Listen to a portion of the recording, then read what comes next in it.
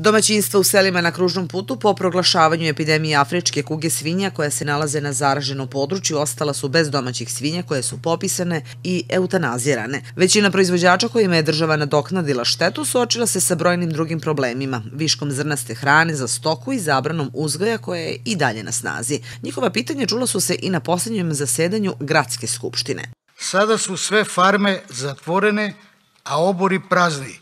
Tužno i žalosno.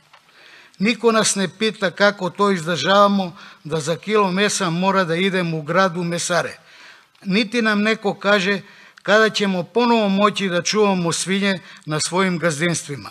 Odgovor smo potražili i u veterinarskoj klinici Pirot koja prati stanje na terenu. Ja se nadam da ćemo u proletnim mesecima, znači februara, marta, da, da se dobije dozvola da se čuvaju i u tim selima svinje obično godinu dana, ali to sve zavisi i od epizotološke situacije, kakva je epizotološka situacija, da li će se odobriti čuvanje Načelnica Pirotskog upravnog okruga i šef odborničke grupe SNS-a u Gradskoj skupštini na odborničko pitanje Ivana Panića rekla je da nadležne republičke inspekcije prate stanje na terenu, a da je skidanje zabrane uzgoja domaćih svinja odluka nadležnih institucija. Uredno sam uputila dopis Upravi za veterinu i po odgovoru Uprave za veterinu predstavku ću vam i uh, predati onako kako oni budu nama i doslovce e, preneli. S obzirom da je potrebno da se izvrši monitoring područja i da se jedan duži vremenski period, nije mi struka, ali su mi tako objasnili veterinari, e, duži vremenski period ne uzorkuje e, divljač koja ima pozitivan test na afričku kugu svinja,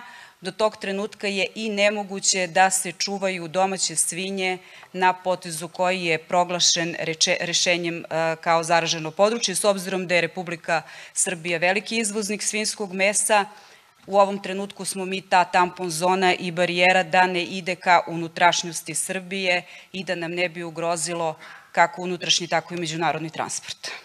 Prema rečima direktora veterinarske klinike Piro Dejana Živića u septembru nije evidentirano prisustvo ove bolesti. Zaposleni u ovoj ustanovi postupaju po pravilniku Uprave za veterinu i kvartalno obilaze gazdinstva na našoj teritoriji. Evidentiraju brojčano i zdravstveno stanje domaćih svinja. Sad trenutno obilazimo e, gazdinstva na kojima se čuvaju krmače, nazimici i nerastovi. Tom prilikom vadimo krv od svih krmača, nazimica i nerastova, znači koji služe za priplod i šaljemo tu krv u Nišu, gde, u institutu gde se ispituju e, serološki, gde se rade testovi da bi se utvrdilo da li postoji prisustvo virusa afričke kuge, e, svinja.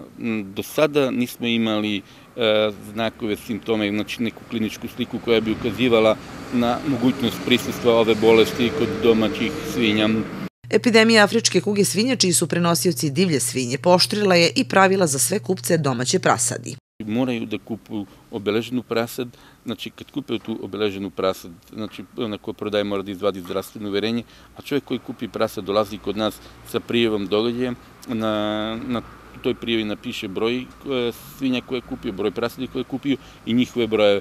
I to se čuje kod nas od nove godine ćemo i ubacivati u bazu podataka, u centralnoj bazi podataka, da, da ćemo u svakom trenutku znati ko, koliko ima svinje i koji su brojevi. Prodavci mogu da prodaju isključivo obeleženu prasad sa urednim zdravstvenim uverenjem i potvrdom o kretanju životinja, navodi Živić. Veterinarska klinika će i dalje pomno pratiti situaciju na terenu. Ono što takođe konstatuju je nizak nivo zdravstvene kulture uzgajivača koji moraju da shvate da je jedan od ključnih mehanizama odbrane od ove bolesti temeljna dezinfekcija.